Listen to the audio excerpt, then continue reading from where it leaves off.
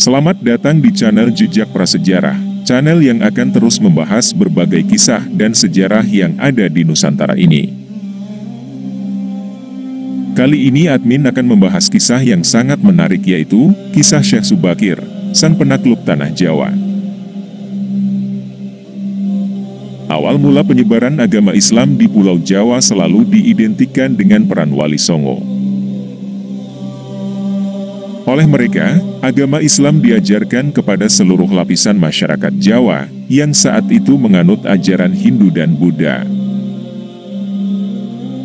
Namun sebelum era Wali Songo, dakwah Islam sebenarnya telah dimulai oleh Syekh Subakir. Syekh Subakir merupakan seorang ulama dari Persia yang diutus ke tanah Jawa dalam rangka menyebarkan ajaran Islam. Dia sendiri diutus oleh Sultan Muhammad I dari Kekaisaran Ottoman di Turki pada tahun 1404 Masehi. Beliau datang ke tanah Jawa tidak sendiri. Namun Syekh Subakir bersama sang paman yang juga merupakan generasi awal Wali Songo, Maulana Malik Ibrahim, yang kemudian dikenal dengan nama Sunan Gresik. Di kemudian hari, sepak terjang Syekh Subakir dalam menyebarkan ajaran Islam dikenal luas oleh masyarakat Jawa. Hal ini dikarenakan selain sebagai pendakwah, dia juga memiliki kekuatan yang bisa mengusir para lelembut yang mendiami pulau itu. Berikut kisah selengkapnya. Namun sebelum kita simak pembahasannya lebih lanjut, silahkan bantu perkembangan channel ini dengan menekan tombol subscribe dan loncengnya terlebih dahulu. Sebelum Syekh Subakir, ternyata sudah banyak ulama-ulama yang dikirim ke Pulau Jawa. Namun mereka pulang dengan tangan hampa.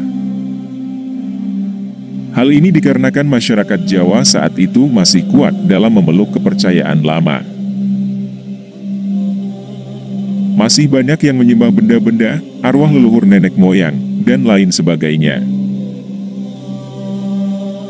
Oleh karena itulah, mereka mendapat tantangan berat dan hanya sanggup mengislamkan segelintir orang saja. Karena dikenal akan kesaktiannya, Syekh Subakir kemudian diutus untuk menginjakkan kaki di Pulau Jawa dan berdakwah Islam di sana. Selain itu dia punya kelebihan lainnya seperti ahli rukiah. Hal inilah yang konon membuat banyak bangsa jin merasa segan dan menyingkir ke daerah Alas Roban, Gunung Merapi dan Laut Selatan. Selain itu, Syekh Subakir konon memiliki batu hitam yang memiliki kekuatan magis. Di tanah Jawa, batu itu konon ditancapkan di Gunung Tidar, Magelang. Batu itu dipercaya memiliki kekuatan gaib yang bisa membuat bangsa jin bergejolak dan akhirnya melawan Syekh Subakir. Namun pertarungan itu akhirnya bisa dimenangkan oleh Syekh Subakir. Selain memiliki kesaktian, ternyata Syekh Subakir merupakan ahli ekologi atau ahli lingkungan. Ia melarang masyarakat untuk membuat sumur di kawasan Gunung Tidar.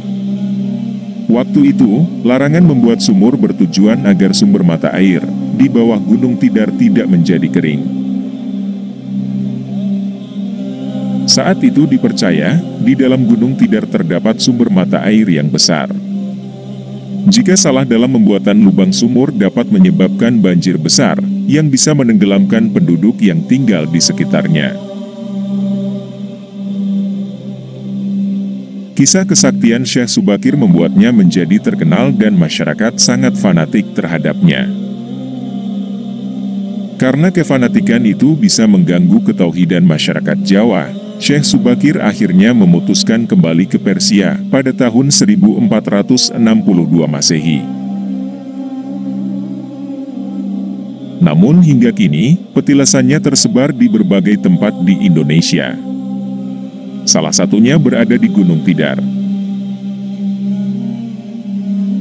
Hingga kini, sosoknya begitu melegenda di kalangan masyarakat Jawa dan sering dikaitkan dengan hal-hal yang mistis.